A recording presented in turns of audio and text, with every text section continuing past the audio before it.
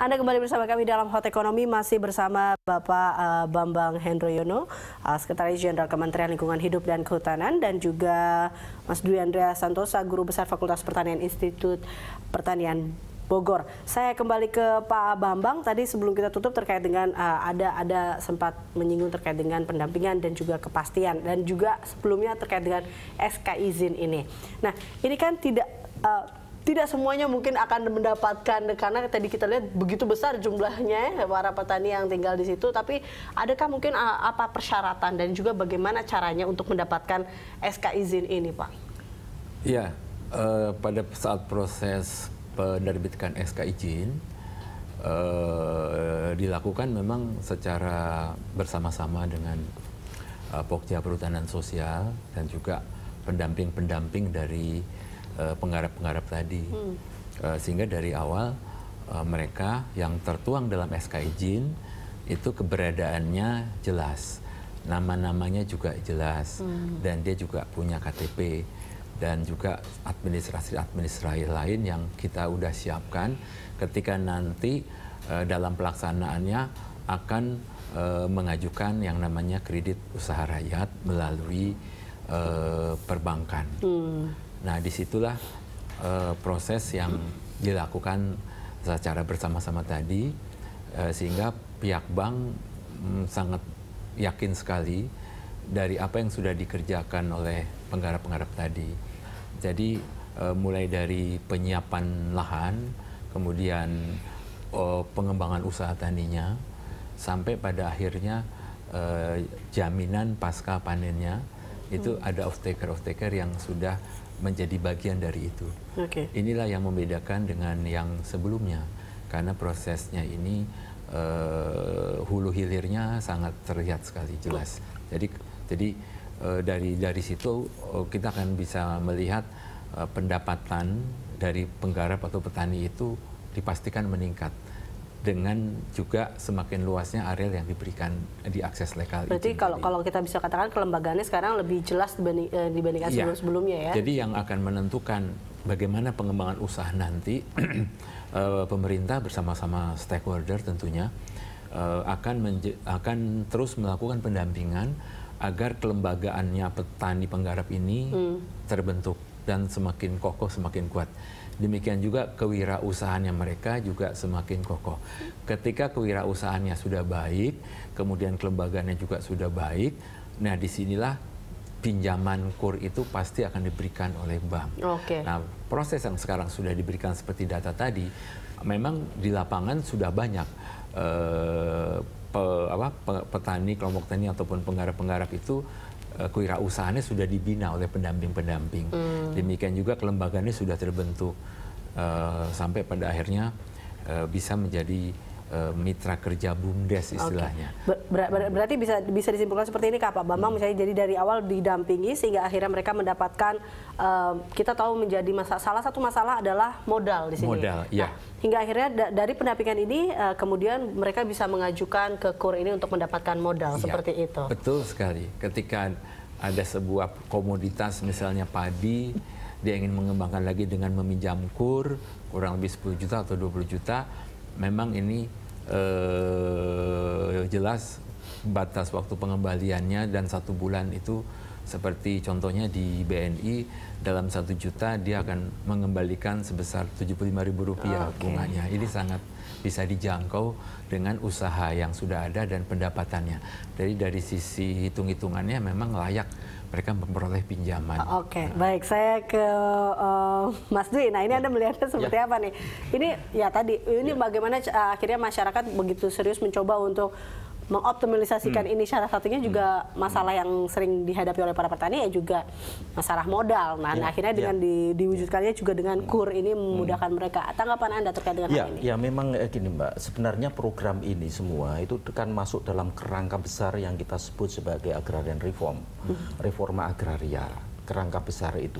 Reforma agraria itu tidak terbatas pada aset reform kan ini aset reform ya dalam arti masyarakat kemudian menerima aset uh, dalam jumlah hmm. tertentu tapi kan juga akses reform menjadi hal yang sangat penting akses reform ini meliputi beberapa hal. Dalam arti selama ini mereka kan sangat terkendala untuk mendapatkan modal, kan? Yeah. Itu akses permodalan, akses teknologi. Terhadap teknologi mereka juga mengalami kesulitan, kan? Akses terhadap pasar mereka juga memiliki kesulitan. Nah, sehingga tidak hanya berhenti di aset reform. Jadi harus berlanjut ke aspek-aspek lainnya. Uh, sebagai contoh saja, misalnya 100 hektar lahan, 100 hektar lahan yang dibagikan ke petani, itu potensi ekonomi yang ada di lahan tersebut itu dalam 4 3 4 bulan itu 1,6 miliar. Hmm. Potensi ekonominya.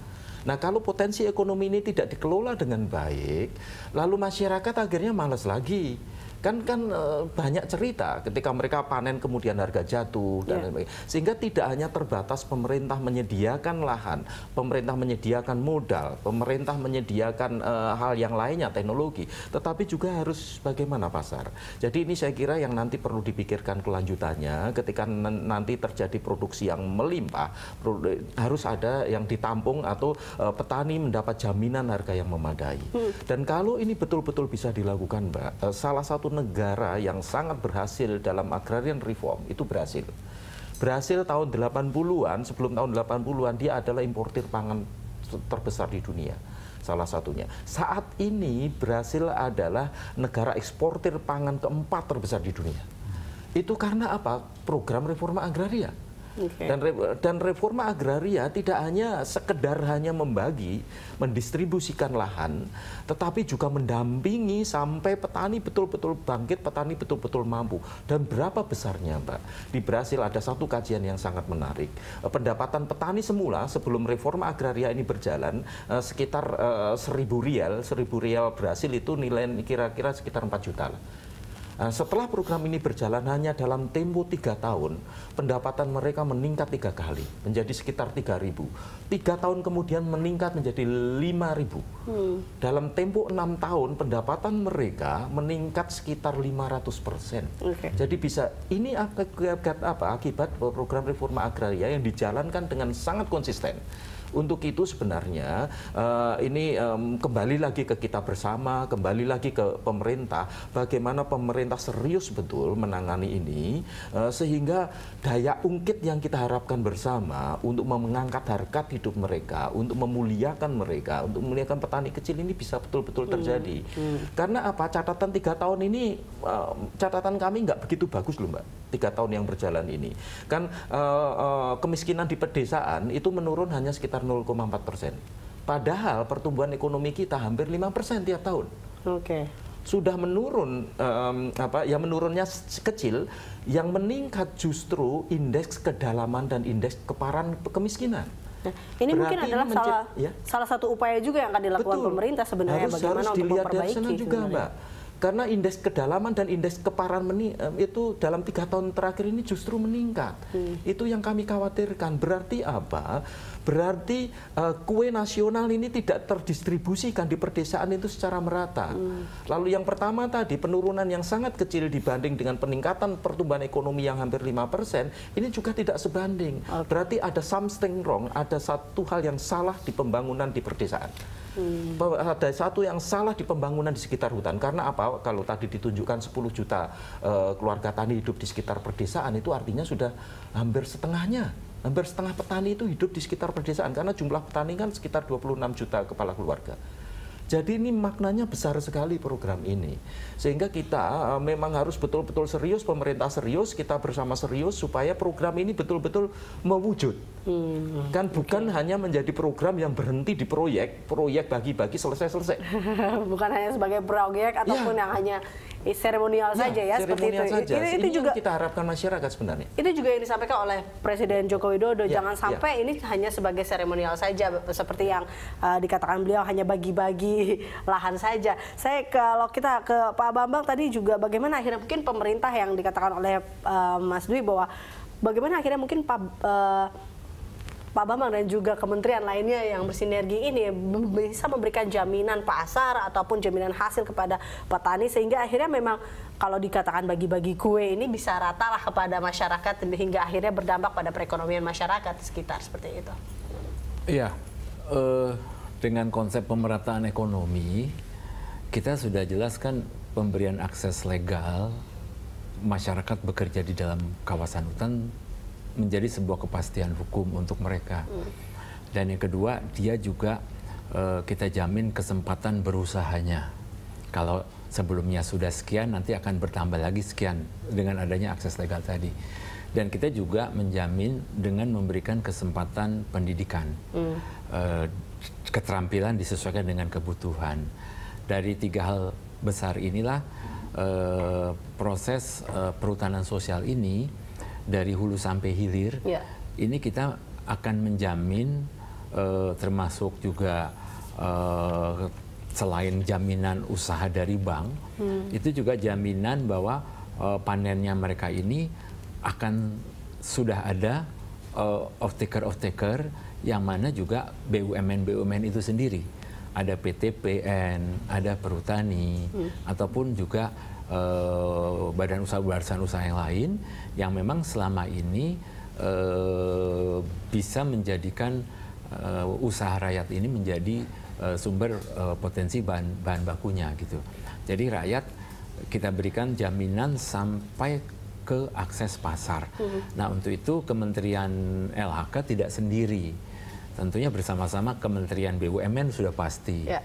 Kementerian Desa yang hmm. menangani, nah kemudian juga uh, PUPR. Yeah. Jadi kurang lebih ya ada 10 kementerian lembaga yang sama-sama membantu dari awal sampai memang uh, kepastian usahanya para petani atau penggarap ini bisa terlihat peningkatan kesejahteraannya. Mm-hmm. Nah inilah yang membedakan dengan yang lalu karena uh, dengan konsep uh, spasial tapak kita akan membangun juga sistem monitoring dan evaluasi. Okay, okay. Ini yang akan dibahas oleh tim KLHK pasca uh, pembagian atau pemberian SK.